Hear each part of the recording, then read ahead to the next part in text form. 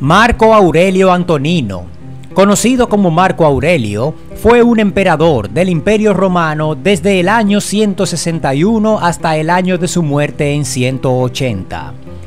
Fue el último de los llamados cinco buenos emperadores, tercero de los emperadores procedentes de una familia de antiguos colonos itálicos asentados en la provincia de Baética, y está considerado como una de las figuras más representativas de la filosofía estoica. Marco Aurelio y Lucio Vero fueron hijos adoptivos de Antonino Pío por mandato de Adriano y fueron también coemperadores del imperio. Su gobierno estuvo marcado por los conflictos militares en Asia frente a un revitalizado imperio parto y en Germania Superior frente a las tribus bárbaras asentadas a lo largo del Limes Germanicus en Galia y a lo largo del Danubio.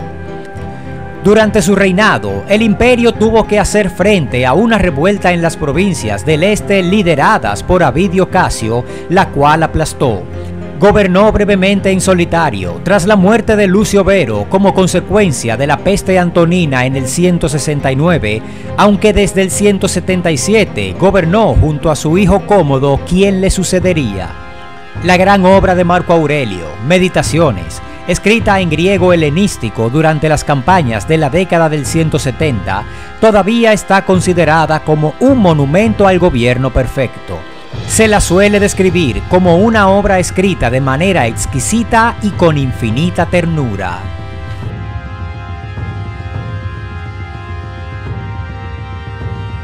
Era el único heredero varón del político Marco Anio Vero y Domicia Lucila.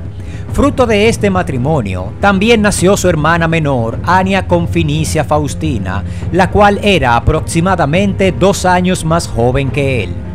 Domicia Lucila procedía de una rica y poderosa familia de rango consular, mientras que el padre de Marco Aurelio procedía de una familia de colonos itálicos pertenecientes a una rama de la James Ania, oriundos de Setia, ciudad del Lacio en Italia, pero asentados en la provincia de Hispania Baética y más precisamente en Ucubi, actual Córdoba. Su padre, habiendo entrado en el Senado romano, había ostentado el cargo de pretor y había muerto cuando su hijo tenía tres años de edad. Cuando ascendió al trono, Marco Aurelio siempre alegó que su madre le había enseñado que era posible vivir sin ostentaciones. Su tía abuela paterna era Vivia Sabina, mujer del emperador Adriano. Rupilia Faustinia, abuela materna de Marco Aurelio, y Vivia Sabina eran hermanastras, ambas hijas de Matidia la Mayor, sobrina del emperador Trajano.